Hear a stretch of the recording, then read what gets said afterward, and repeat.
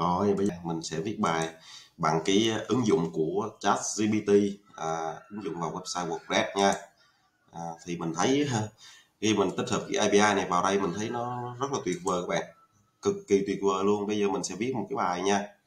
À, à, à, cách để bạn dậy sớm hơn mỗi ngày à, ví dụ như mình có một cái từ khóa như vậy đúng không? Đó, mình chỉ mình chỉ có ghi đúng cái tiêu đề này thôi sau đó mình bấm cho nó cho nó viết. À, thì khi mình tích hợp cái chat GPT vào đây thì wow nó tự động nó viết các bạn thấy nó đã không? À, nó tự động nó viết đúng không? Bảy bí quyết để dậy sớm hơn mỗi ngày. À, cách để thay đổi thói quen của bạn. À, các bạn thấy nè nó đưa cho mình một cái à, tiêu đề luôn phải không? Đó, đưa một cái tiêu đề. Và bắt đầu nó sẽ viết bài này cả nhà. Oh, nó lấy nó tự động nó lấy cho mình một cái hình rất là đẹp. Rồi bắt đầu nó viết này hãy để bạn dậy sớm hơn mỗi ngày được không? À, vậy thì mình chỉ cần à, ngồi uống ly cà phê thôi là cái ứng dụng này nó sẽ tự động nó viết bài cho mình. À, cực kỳ hay cực kỳ hay luôn các bạn đó các bạn thấy không? Đó. Bạn có biết rằng dậy sớm là một trong những thói quen tốt nhất bạn có thể áp dụng vào cuộc sống của mình. Dậy sớm giúp bạn có thể tận hưởng nhiều thời gian hơn để làm việc học tập hoặc chỉ đơn giản là để tận hưởng một ngày mới nếu bạn muốn tìm hiểu thêm về cách để bạn dậy sớm hơn mỗi ngày hãy truy cập vào trang web để tìm hiểu về cách thức để bạn có thể thay đổi thói quen của mình và bắt đầu một ngày mới với nhiều ước mơ hơn. Đây thì đây là một cái đoạn giới thiệu trong một cái à, bài viết cụ thể nào đó ha. À, các bạn đọc báo các bạn cũng thấy rồi.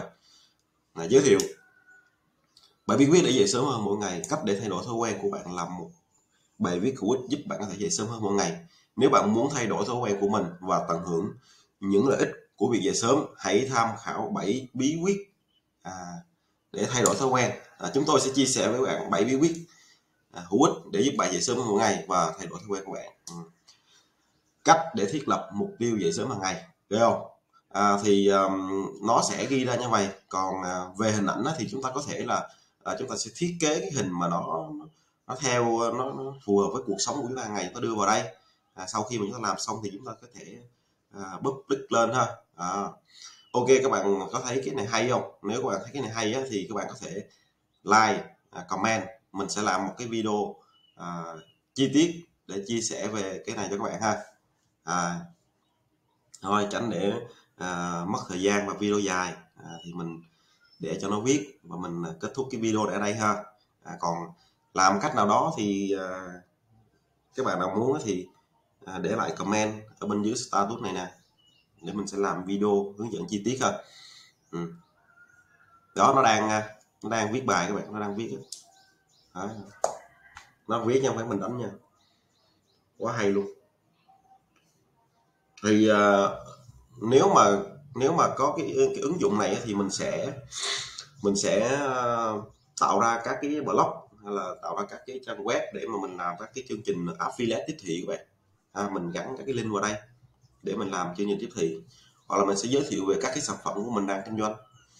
Và mình thấy cái ờ, cái văn phong với lại cái ngôn ngữ tiếng việt này nó viết nó nó rất là thân thiện với lại cái người việt của mình các bạn đọc các bạn thấy không nó rất là thân thiện luôn nó không phải là google dịch nữa nó không phải là các bạn đọc các bạn thấy nó không có cứng.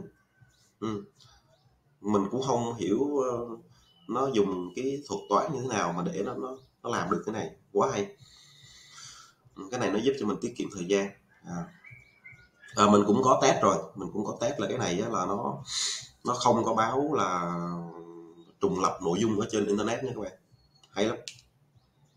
Cho nên là nó rất là chuẩn nó là chuẩn SEO các bạn thấy không? Nó viết một cái tiêu đề H2 sau đó nó có một cái đoạn thấy không? Nó sẽ phân tích ra từng đoạn. Rồi nó chấm nó phẩy nó làm đầy đủ hết. À, đúng chuẩn cái SEO luôn. Hay quá hay quá. Đó. Ok ha. Đó các bạn thấy là nó nó tới phần kết luận hay không? Thì cái cách nó viết á, nó cũng viết theo cái tiêu đề H2 xong theo đoạn cái tiêu đề H2 thì sau khi mà làm xong thì các bạn có thể à, thiết kế hình ảnh và đưa vào đây à, và nó tạo ra một bài viết cực kỳ chuẩn luôn. Đó cuối cùng là kết luận không?